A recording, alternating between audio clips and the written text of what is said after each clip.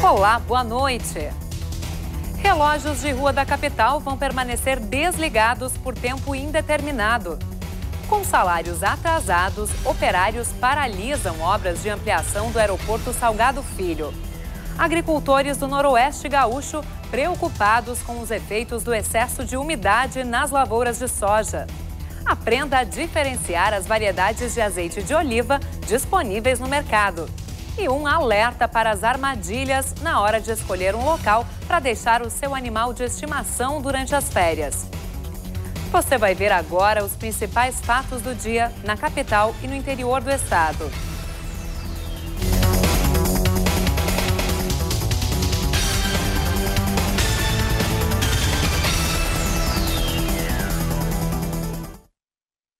Que recorriam aos relógios de rua para saber hora e temperatura vão ter que esperar mais um tempinho pela reativação do serviço. É que a licitação para a escolha da nova empresa terminou deserta. A vencedora do processo também ficará responsável pela instalação e manutenção de outros equipamentos do mobiliário urbano da capital. Quente, muito quente. E a temperatura no relógio digital de rua no centro? Pois é. Os relógios não estão funcionando, né? Dá um calorão, nem sei aguentar. Provavelmente deve estar próximo dos 40 graus, né? Mais ou menos. Vai ficar sem saber. É, vão ficar sem saber, infelizmente, né? E faz tempo. Os 50 relógios digitais nas ruas de Porto Alegre estão desligados há pelo menos seis meses. É que até então, uma única empresa de publicidade, sem pagar nada ao poder público, explorava o serviço de publicidade no equipamento. A prefeitura, então, decidiu exigir uma contrapartida para os cidadãos, só que nenhuma empresa apresentou proposta na licitação. Interessados, a gente sabia que tinha muitos. O tempo todo nós fizemos audiência pública, vários interessados, vários questionamentos mesmo presentes, não apresentaram seus envelopes. A licitação previa triplicar o número de relógios digitais. Mas para vender mais anúncios nos próximos 20 anos, a nova empresa investiria 20 milhões de reais em cada ano. A proposta é fazer a manutenção de 6 mil placas de nomes de rua danificadas, como esta, que mal dá para ler o nome da rua, e a colocação de outras 14 mil em ruas não identificadas. Além disso, manter em parques e na orla do Guaíba equipamentos para abastecimento de água para chimarrão e chuveirinhos e 180 totens de publicidade com informações de serviço, como o itinerário dos ônibus nas paradas. Aliás, as 4 mil paradas de ônibus cobertas seriam modernizadas com sinal Wi-Fi para a internet e cadeiras para o conforto dos usuários. É ruim porque ontem eu esperei o, o ônibus ali na, naquela parada que entra na Cruzeiro, que vai pro postão. Aí tinha uma pedra, eu fiquei quase uma hora sentado naquela pedra. Se tivesse um banquinho desse, estava triste, especial. muito bom, muito bom. Bem gostoso. Principalmente pra gente, né? Ainda mais eu, que ando até de bengala. Sem interessados, não há prazo certo para isso tudo acontecer. O responsável pela licitação do mobiliário urbano deve discutir a situação com o prefeito na próxima semana. As opções são mudar os termos ou tentar outros interessados com a mesma proposta. Se for só reeditar, é só pegar e publicar. Então, isso pode ser em 24 horas. E se o prefeito decidir que haverá qualquer mudança, aí muda cálculos, muda valores, muda tudo. Então, aí já precisaremos de mais um tempo para trabalhar nessa licitação. Né? Foi restabelecido durante a tarde o fornecimento de energia elétrica para a zona sul de Porto Alegre. Hoje, 64 mil clientes de 10 bairros ficaram sem luz por causa de uma falha numa subestação da CE. Técnicos da empresa trabalharam para consertar o aparelho que provocou o desligamento da unidade. O serviço foi concluído às 4 horas da tarde. A ampliação do serviço de coleta automatizada de lixo em Porto Alegre inicia no próximo dia 15 no bairro Moinhos de Vento. Mas cinco anos após a implementação do sistema com containers nas ruas, muita gente ainda não sabe usar corretamente o serviço. A ampliação do sistema de coleta de lixo automatizada será feita em duas etapas. Ao todo, serão 1.200 novos containers. A primeira etapa de instalação inicia na sexta-feira, dia 15. Os novos containers começam a ser instalados nas ruas do Moinhos de Vento. Todo o bairro vai ser atendido pelo serviço automatizado. Serão 680 containers. O trabalho de instalação deve ir até o dia 20 de janeiro. Durante esse período, a coleta de lixo domiciliar continua normal. A partir do dia 21, o serviço passa a ser automatizado. A coleta automatizada de lixo existe em Porto Alegre desde 2011. A cidade conta com 1.200 containers como esse. Mas, passados cinco anos desde a implantação do sistema, boa parte da população ainda não utiliza o container de forma adequada. Eles não acertaram muito bem aqui em Porto Alegre. Eles deveriam ter colocado dois containers, um orgânico e um seco.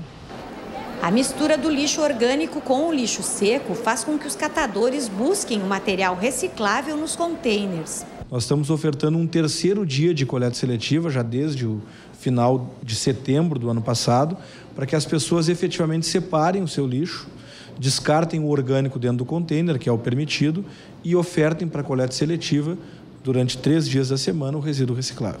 Após a ampliação do sistema, 19 bairros vão passar a ter a coleta automatizada. Atualmente, 13 bairros já possuem o sistema. A população pode informar a prefeitura pelo telefone 156 sempre que houver lixo fora dos containers ou o equipamento não estiver limpo. A empresa que faz a coleta também é responsável pela manutenção e limpeza dos containers. O Palácio Piratini depositou hoje 272 milhões de reais da parcela da dívida de dezembro com a União, que estava atrasada. O pagamento foi possível devido à entrada nos cofres públicos de 188 milhões de reais do ICMS cobrado dos setores de energia e telecomunicações. Outros 84 milhões já haviam sido transferidos ontem para uma conta do Banco do Brasil. Após a quitação, o governo federal desbloqueou as contas do Estado. Nesta quarta-feira, o calorão continua na fronteira oeste. Em Uruguaiana, dia de sol e poucas nuvens, com termômetros na casa dos 33 graus. Essa condição de tempo se repete em São Borja, que também vai ter máxima de 33. Mais longe da fronteira, tempo firme com nebulosidade aumentando no fim do dia. A temperatura varia entre 23 e 33 graus em Alegrete. E ainda nesta edição, os cuidados na hora de escolher um lugar seguro para deixar o seu bichinho de estimação durante as férias.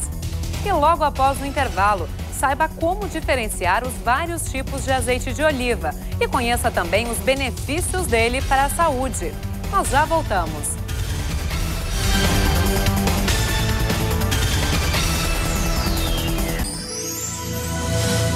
No centro do estado, a chuva pode aparecer nesta quarta-feira, ainda que em baixa quantidade. Em Santa Cruz do Sul, o dia tende a ser quente, com tempo firme e temperatura aliviando à noite, máxima de 31 graus. Santa Maria também vai ter uma tarde abafada, mas deve chover a partir do fim do dia. E em Cachoeira do Sul, sol durante o dia e tempo abafado à noite. A máxima atinge os 31 graus. Já está funcionando em Santana do Livramento o desvio provisório na BR-158. Desde terça-feira da semana passada, a rodovia estava bloqueada no quilômetro 548, onde a chuva abriu uma cratera no asfalto. O desvio foi concluído no fim de semana e funciona com o sistema pare-siga, que libera o trânsito em um sentido por vez, de maneira intercalada. Representantes dos operários que trabalham nas obras de ampliação do aeroporto Salgado Filho se reuniram durante a tarde com a superintendência da Infraero para discutir o atraso nos salários. A estatal prometeu pressionar a construtora responsável pelo projeto para que atualize os pagamentos. Em protesto contra a falta de repasses, os trabalhadores bloquearam o acesso à área que está sendo reformada. O bloqueio começou cerca de 30 minutos depois que a nossa equipe chegou ao local. Os operários que estão paralisados desde a quarta-feira foram para a frente do portão principal e impediram a entrada e a saída de veículos. Eles reivindicam o pagamento de salários e benefícios atrasados, além de melhorias nas condições de trabalho. A obra, que era de responsabilidade da catarinense Espaço Aberto, passou aos cuidados da empresa Damiani ainda em setembro de 2014, depois de sucessivos atrasos na construção. A nova empresa subcontratou outras cinco empreiteiras, o que só teria piorado a situação no canteiro, segundo o presidente do Sindicato dos Trabalhadores nas Indústrias da Construção Pesada. Ele afirma que mais de 60 dos 80 funcionários têm pelo menos dois meses de salários atrasados a última parcela do décimo não foi pago. Então, quer dizer, são várias irregularidades, né? A questão de segurança também é precária aqui dentro, a alimentação é horrível. Enfim, são vários itens. O grupo deste montador de Santa Catarina está hospedado em um hotel na região metropolitana, mas a empresa responsável pelo pagamento da estadia não depositou o dinheiro. A qualquer momento nós podemos ser despejados ali e já foi passada essa ordem até para eles lá. E nós estamos aí só esperando uma resposta e qualquer coisa nós vamos ter que pegar nossas coisas e vir aqui para Por causa do bloqueio no canteiro, o transtorno foi grande e os trabalhadores chegaram a ser impedidos de acessar o portão.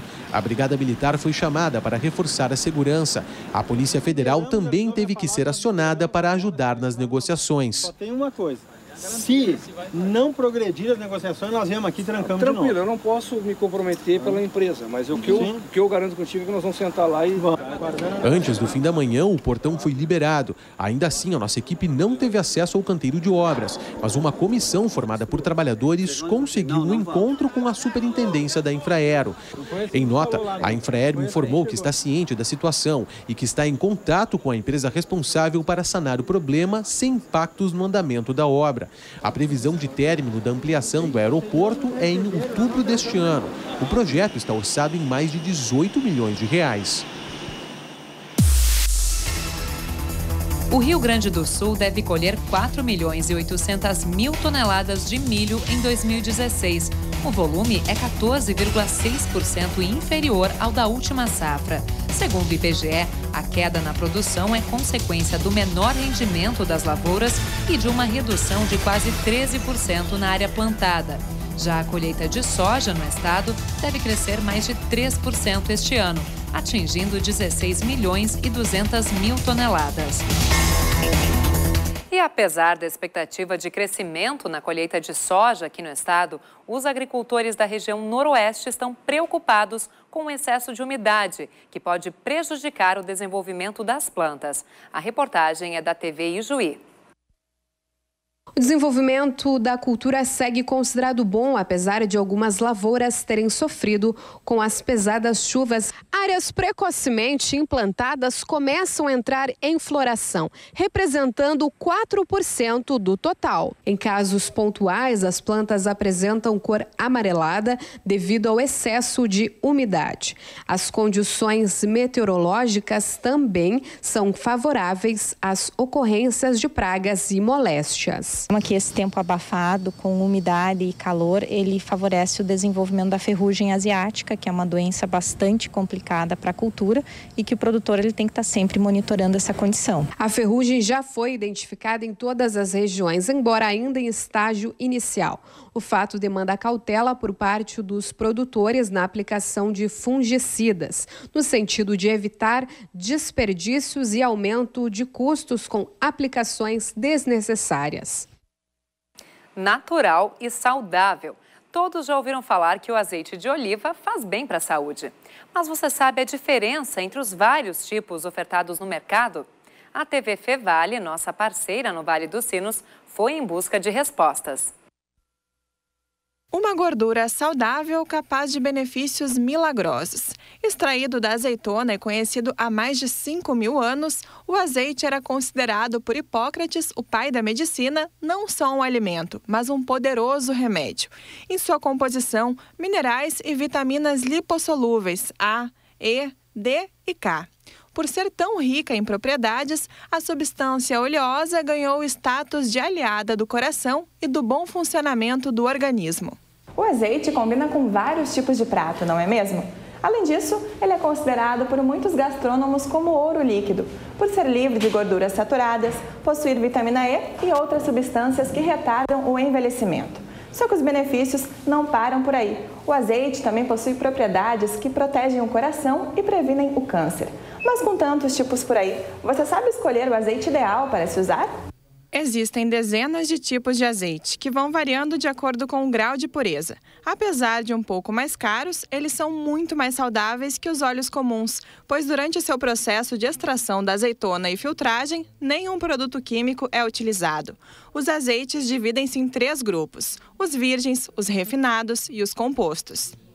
Virgem é quando ele é a primeira filtragem, que ele não tem nada, não foi tirado nada de da azeitona. Primeiro, simplesmente a azeitona está sendo a, moída ali, eles tiram e vem o resíduo embaixo, porque é um azeite que não foi passado por nenhum período de, de como é que já vou te explicar, um período assim de processamento.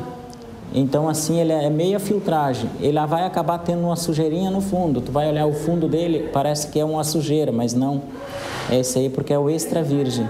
O azeite extra virgem é o mais puro e saudável dos azeites. Possui uma textura espessa e uma tonalidade bem forte. Rico em vitaminas E e K, é o produto ideal para temperar saladas e legumes e até mesmo para usar em frituras. Isso porque a pureza desse azeite permite que ele seja aquecido a altas temperaturas sem perder as propriedades. Quanto mais amargo, mais aquele forte de azeitona, mais puro o azeite é. Por isso que todos os azeites 0,1, que é a acidez mais baixa que tem, ele é um azeite assim que quando tu degusta ele, tu estranha, porque ele é um azeite forte, ele chega a arder na garganta. Isso é o grau de pureza dele. O azeite virgem é um pouco mais ácido que o extra virgem. Como ele já foi filtrado uma vez, ele possui uma qualidade menor, é menos espesso, com um gosto mais fraco, mas também é rico em vitaminas e minerais, podendo ser utilizado em frituras também. Já os azeites refinados e compostos possuem uma qualidade inferior. A acidez é elevada e, por isso, esse tipo de azeite deve ser usado especificamente para temperar saladas, pães e outros alimentos, não devendo ser utilizado em frituras.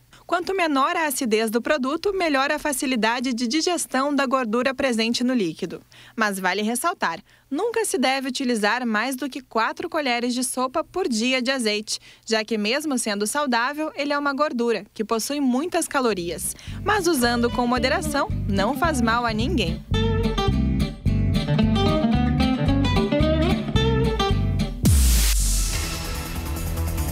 Abertas as inscrições do Mais Médicos para o ingresso de profissionais.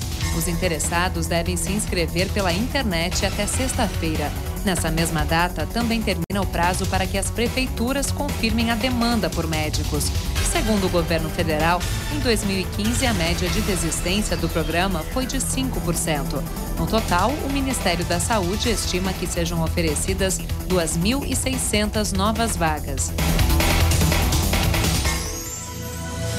Quarta-feira de tempo firme e quente no sul gaúcho. A nebulosidade só deve aumentar ao entardecer. Na fronteira, as máximas chegam a 32 graus. Mesma condição de tempo em Pelotas, onde faz menos calor, 31 graus. No litoral sul, dia ensolarado para os veranistas, que podem aproveitar a praia para aliviar a temperatura de 29 graus em Rio Grande.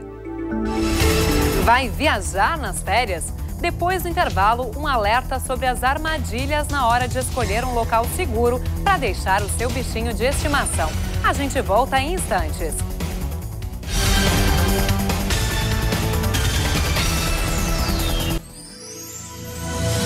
Quarta-feira vai ser mais um dia de sol e poucas nuvens na região metropolitana. Em Porto Alegre, a tarde fica abafada e a temperatura atinge os 32 graus. Tempo firme máxima de 32 também em Novo Hamburgo. No litoral norte, dia bom para os veranistas, com muito sol e nuvens apenas ao entardecer. Os termômetros não passam de 28 em Tramandaí. Termina na sexta-feira o prazo para matrícula nas escolas estaduais gaúchas. O pedido de vaga pela internet vale para alunos que querem ingressar em cursos técnicos ou nos ensinos fundamental e médio.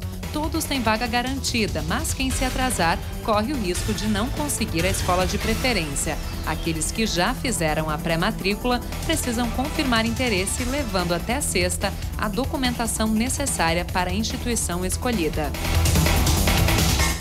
No dia 1 de janeiro, entrou em vigor oficialmente o novo acordo ortográfico da língua portuguesa. As regras já vinham sendo ensinadas nas escolas desde 2009, mas só agora serão efetivamente cobradas. A reportagem da TV Caxias, parceira da TVE na Serra, traz algumas dicas sobre o uso dessas novas normas. De acordo com a professora de língua portuguesa, são basicamente quatro mudanças mais relevantes na língua. Primeiramente, em relação ao alfabeto, com o ingresso das três consoantes, o K, o Y e o W. A questão do trema, que então deixa de existir, nós não escrevemos mais 50 com trema, linguiça com trema. Terceira questão é em relação a alguns acentos, primeiramente com os acentos diferenciais para verbo, para preposição, uma vez eram diferenciados por um acento no para verbo. Hoje em dia não tem mais, apesar de alguns acentos diferenciais permanecerem, como aquele do verbo ter. Ele tem singular, não tem acento, mas eles têm no plural tem um acento circunflexo que diferencia. Outra questão dos acentos são os ditongos abertos, oi, ei, não escrevemos mais ideia com acento no é. É uma paroxítona, na verdade, isso tem que ser lembrado, que as paroxítonas com ditongos abertos, como ideia, não são mais acentuadas. Agora, se esse ditongo aberto aparece numa oxítona, anéis, por exemplo, pastéis, o acento permanece. Quarta questão, eu diria, é em relação ao uso do hífen. Basicamente, a questão uh, de agora nós colocarmos hífen sempre que uma palavra iniciar com um H nós temos anti-higiênico. Higiênico com H é separado do anti por um hífen. Outra regrinha que é interessante a gente pensar é que agora nós separamos letras iguais e juntamos letras diferentes. Por isso que o micro-ondas leva o hífen, mas autoescola, auto termina com O, escola inicia com E, nós não utilizamos mais o hífen para diferenciar. As novas regras serão exigidas em documentos oficiais, exames e provas. E, claro, devem ser colocadas em prática no dia a dia. Palavras escritas na antiga grafia da língua serão consideradas incorretas a partir de agora. Subiu para 21% o índice de abstenção do vestibular da URGS. Dos 38 mil candidatos inscritos, mais de 8 mil já desistiram do concurso.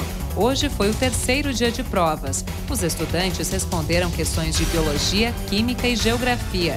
O vestibular termina amanhã com testes de história e matemática. A lista com o nome dos 4 mil aprovados deve ser divulgada até o dia 23 de janeiro sol predomina no norte do estado nesta quarta-feira. Na Serra, a nebulosidade só aumenta à noite. Durante a tarde, a máxima chega a 27 graus em Caxias do Sul. Em Passo Fundo, dia de tempo seco e calor de 30 graus. No noroeste, o sol brilha forte e as temperaturas sobem ainda mais, máxima de 31 em Ijuí. Você pretende viajar nas férias e não sabe onde deixar o bichinho de estimação? Opções de hospedagem não faltam para animais. Mas o Conselho Regional de Medicina Veterinária faz um alerta. Na internet, tem gente se oferecendo para cuidar de cães e gatos sem qualificação para o serviço. Tudo pronto para viajar com a família. E onde deixar essas fofuras? Cresce na internet a oferta de cuidadores de animais. Eles oferecem suas casas para hospedar cães e gatos e cobram diária mais barata do que um estabelecimento especializado. Mas esse tipo de estadia pode prejudicar a saúde dos bichos, alerta o Conselho Regional de Medicina Veterinária. Se este animal vier a apresentar alguma doença no período que ele está com o cuidador, quem é que vai acionar um veterinário para fazer esse cuidado? Então, essa é a grande preocupação do conselho: é o bem-estar do animal, a sanidade do animal e, consequentemente, eh, a responsabilidade do médico veterinário nesse, nesse contexto. É, ficar longe de casa não pode se tornar um sacrifício para eles. Nessa pet, o espaço é amplo e limpo. Recreacionistas estimulam o bem-estar dos bichos que são acompanhados 24 horas por dia. Os donos podem até matar a saudade dos animais pelo celular. O sistema exibe imagens ao vivo. Mais do que isso, podem ver se eles estão seguros e bem atendidos. E todos os cães fazem antes da hospedagem e antes de começar a frequentar a creche uma adaptação. Essa adaptação é para a gente uh, ver como é que é o comportamento do cachorro, se ele é dócil, se ele interage bem com os outros cães, né? Como a gente trabalha com eles todos juntos e soltos, né? Então é importante que eles tenham um bom relacionamento. Uh, e outra regrinha também bem importante aqui para a hospedagem é que a gente só recebe machos castrados e as fêmeas durante o cio também não podem vir. Em Porto Alegre, estabelecimentos especializados cobram diárias que variam de R$ 35 a 120 reais. mas um pacote de dias pode baratear a estadia dos animais. Tudo para a família toda, incluindo eles, tirar férias numa boa. Ficam as dicas então para sair de férias bem tranquilo. E nós voltamos amanhã às sete da noite com novas informações. Uma boa noite para você e até lá.